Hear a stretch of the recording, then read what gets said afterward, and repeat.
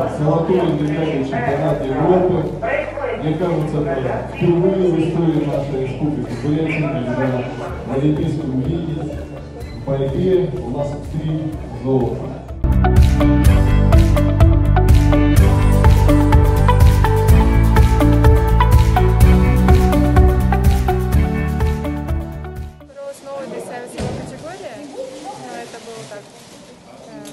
Получается, перед чемпионатом страны. У нас еще решалось, кто будет э, выступать на отборе на лицензионном турнире. И поэтому на этом чемпионате мы решили бороться в 55. И, в принципе, тренеры тоже поддержали, предоставили такую возможность. А вес, конечно, новый, много девочки потяжелее. И по ходу борьбы уже перестраивалась на прочувствовала, какие соперницы примерно. И по ходу уже с каждой встречи я набирала обороты, ну и перестраивалась весовую категорию, как с ними работать. Тренерский штаб так решил. В принципе, там э, разница небольшая, 53 килограмм, 55 килограмм. Даже на турнирах она международных, там всегда бывает допуск 2 килограмма, и она борется 55 килограммов.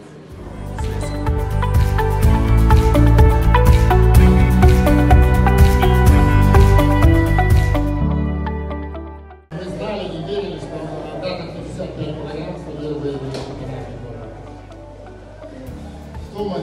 сказать? Верим, знаем, наш ориентир для наших девочек, для наших ребят, для всего, для всей республики, нашей стране. Поздравляем ее, всех нас. Спасибо большое.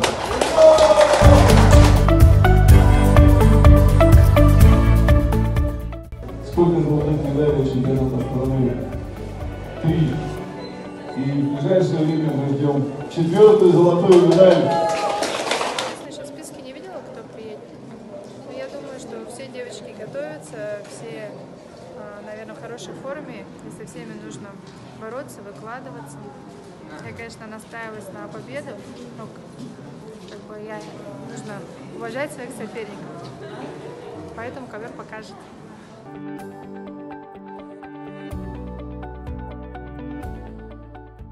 Еще в самом разгаре. Было в этом году два старта. а, Только недавно закончился чемпионат Европы. И вот в трех весах сборная России отправит своих представителей на лицензионный турнир. Он будет проходить буквально на днях 6-9 мая. Поэтому будем ждать лицензии от наших спортсменок. 53 килограмма Ольга Хорошавцева едет завоевывать а, лицензию. И как бы я сейчас жду, смотрю, как у нас будет в нашей стране лицензия. Главное сейчас завоевать лицензию. А потом у нас будут отборы. У нас, у нас лицензия, она не именная, она идет для команды страны. И как бы потом в дальнейшем у нас будет отборы. Кто может пред- представлять нашу страну на Олимпийских играх, главное ее сейчас завоевать лицензию. У нас последний турнир остался, вот Софии будет. Ну ладно, будем держать пальцы. Спасибо огромное. Еще раз поздравляем тебя с победой. Спасибо.